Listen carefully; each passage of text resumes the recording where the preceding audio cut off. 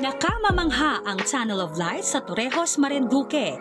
Kwento ni Bayan Patroller Rayjan Rio Florido Mendones, may habang 78 meters ang tunnel na tagtad ng mga ilaw. Agaw pansin din ang giant Christmas tree.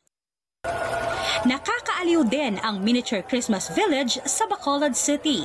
Ayon kay Bayan Patroller Andrew Altarejos, bihirang magkaroon ng Christmas miniature village na talagang pinaghusayang buuin. Kwento ng may-ari na si Bamboo Tunog Banwa, inilagay ang Christmas Village sa kanilang ancestral house. Karamihan sa bahagi ng Christmas Village ay galing sa Europe at USA. Nagliwanag din ang buong Pastrana Park sa Kalibo Aklan. Itinayo ang malaking Christmas tree sa gitna ng park na hitik sa ilaw. Pinailawan na rin ang munisipyo ng Kaluya na isang island municipality sa Antique. Mula alas 6 hanggang alas 10 ng gabi lang ang pailaw bilang pagsunod sa curfew. Nakamamangha naman ang mga makukulay na Christmas lights sa munisipyo at paligid ng Uton, Iloilo. Pinailawan din ang plaza sa Panay Capiz.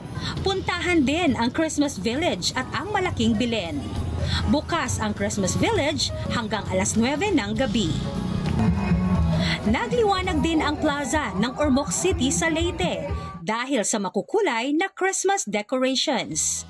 Pinailawan ang mga puno, pati mga poste sa paligid ng plaza. Bida ang pineapple-inspired na giant Christmas tree. Roland Escaniel, ABS-CBN News.